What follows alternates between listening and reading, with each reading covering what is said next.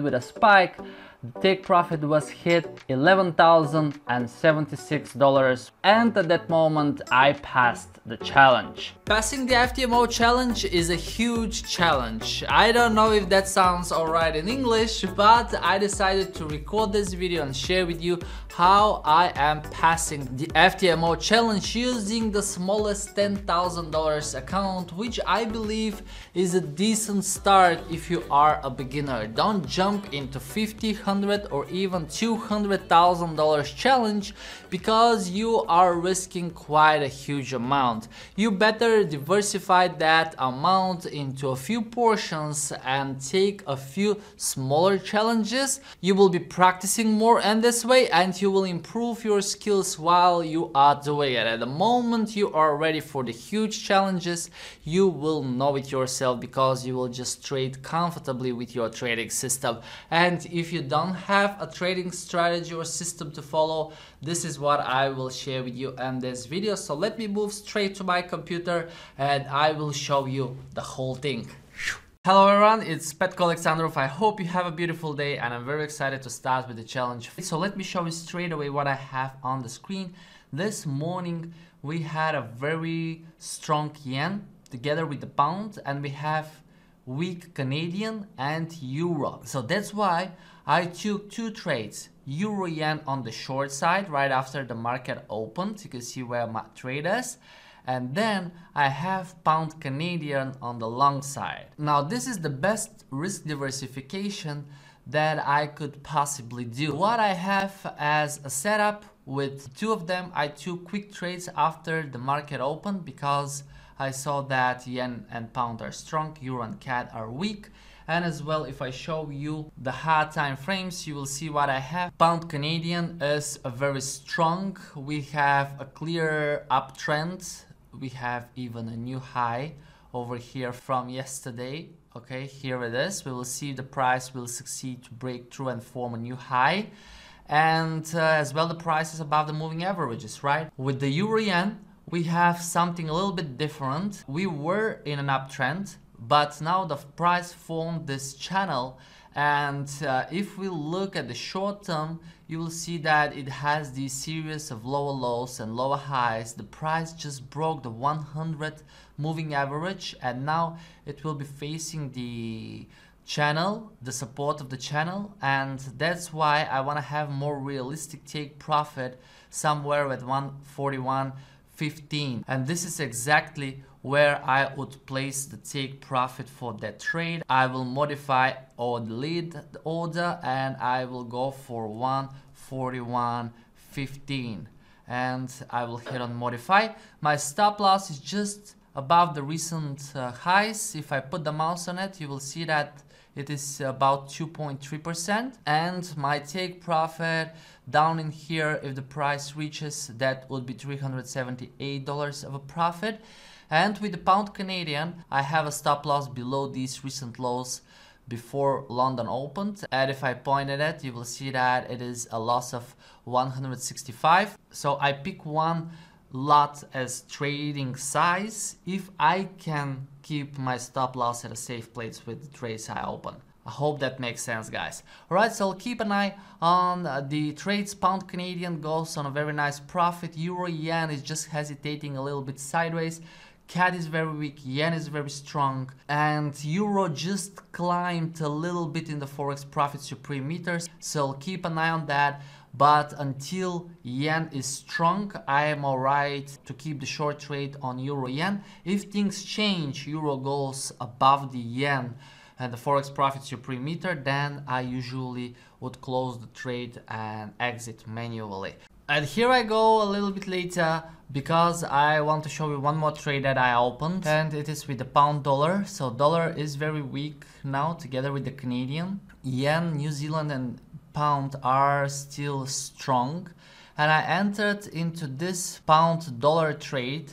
You can see that I had my Fibonacci and I had the retracement over here but at that moment, in, during this drop, pound was not really strong. It was just in the middle, right? Then it continued in the same direction. And I just entered after the break of the 100 and uh, I placed my stop loss right at a 38.2 now the other trades are going on a very nice profit. You can see that euro yen is nearly at my take profit. And pound canadian is failing to take the 165.10 but i allowed myself to open a third trade with the pound dollar because euro yen is already at my take profit. And now let me show you how i closed the trades.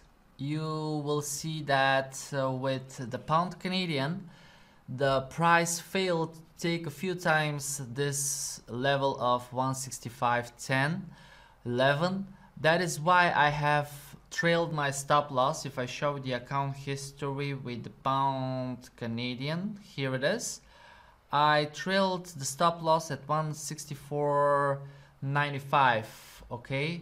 Right in here. And it was just closed because of that candlestick. And uh, with uh, the pound dollar I have closed the trade manually when it reached around zero. What is it? Ten dollars of a profit. And you will see that the price even formed this lower high than that one which is a sign of a strong resistance right and uh, right now I'm already at uh, the 5.04 if I have to be precise, which is pretty decent profit for the first day, isn't it? Hello everyone, it's Petko Alexandrov. I hope you are doing well and I continue after two sessions, so it is Tuesdays. So what I have today, quite intensive morning and I want to share all the setups. So I have one trade opened with pound yen but that's the third trade I opened. So let me explain exactly what happened before that. I had two more trades. The first one was with pound Canadian and I will share with you the setup because things turned really negative and I'm glad I reacted quickly. So right after the opening, I used the moving average setup and once the price broke aggressively, I entered right about here, okay? My entry price 165.95. I placed the horizontal line so I can show it to you. And my stop loss was below the opening at 165.78 and my take profit was higher okay two times the distance risk to reward ratio 1 to 2 and you can see what happened I would have hit the stop loss if I didn't close the trade manually and I closed it just because pound was not anymore on the top. What happened with the Euro Canadian is right in here, pretty much the similar thing. I had the Fibonacci and the price retraced to the 61.8 but I couldn't execute it. with just a quick touch and a pending order wouldn't execute it and I didn't have the chance to buy in here. Then the price continued higher and I used the breakout setup.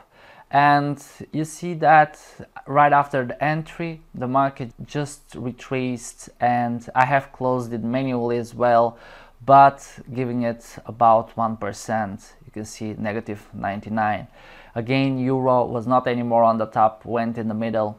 And I switched to pound yen because pound got really weak and yen together with the Aussie are on the top. You can see that again I used the breakout. I had the first initial move during this time pound was just going from the top to the bottom and then you see that the price didn't even go close to the 61.8 for retracement. It just continued lower and this is when I opened the trade I believe right at that candlestick at 1046 let me see when is the opening. Yeah 1046 at the end of this candle stick and then I placed my stop loss above these highs.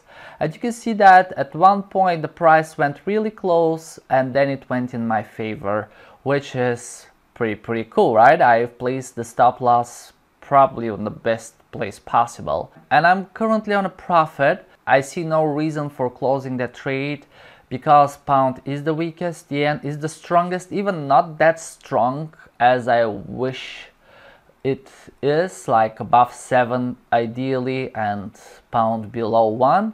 but it is still going in my favor so I will keep it. And I have my take profit a little bit below the 161.8 and I will tell you why I have placed it in there. Let me show you the hard time frame. So euro canadian ideal setup as well as the pound canadian that i had.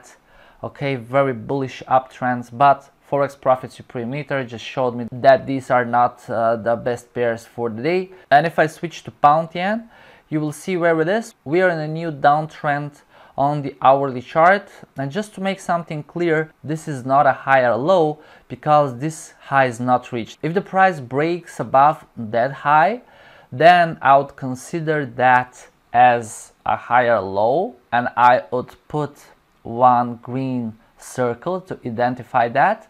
But until the price is below that high this is the lowest low and this is the lowest high. And for me we're in a new downtrend with the pound yen. Now on M15, you will see that the bottoms of these candlesticks right here are somewhere at 166.15. That's why I've placed my take profit at 166.17. And since I'm recording every single trading session, I have recorded the last one hour or so, so we can see exactly what happened and I will play it on fast speed like 30x from the real market. So we can see quickly that yen stayed on the top together with the euro, pound and Canadian kept being very well on the bottom of Forex Profit Supreme Meter and see that since pound and Canadian dropped about the 2 or even below the 2, pound yen continued in my favor. There was one more retracement and then I was already on a huge profit. The price reached to 61.8 and I was very close to the take profit with a spike. The take profit was hit $11,076 and at that moment I passed the challenge. So if I show you the screen right now, you will see where pound yen sits and my take profit of one 6617 was like perfect okay? Really ideal for today's market. This doesn't really happen every time that i would put my take profit on the perfect place but today I had it exactly where I wanted. Realistic take profit. One more time I wanted to put it above the bottoms of these three candlesticks and having a realistic take profit is very very important in your trading plus a very smart money management where I traded three lots today not one and in the next section you will learn why. But before I go in there I want to show you a detailed report from the account. So you will see the performance and if you focus at the statistics you will see that I had totally six trades, two short positions and two long positions. My maximum drawdown, which is very important during the FTMO challenge, is $150 or that is about 1.43%. My total net profit is 1000 $76.91, which is obviously above 10%. And I had consecutive losses of two which is something important for me. And I'm very excited to get into the next section that I will share with you two very smart money management systems you can follow to pass the challenges quickly or within a few trades. And from there, no matter which prop trading firm you are going for, and if they have minimum trading days and you have reached the target, you can open positions on the next day with 0.01 lot just to stay active and to cover the minimum trading days. Or you can keep it up trading as normal but once you reach 10% you have nothing more to prove. You don't need to push yourself for more profits during the challenge. The only important thing is that you reached your target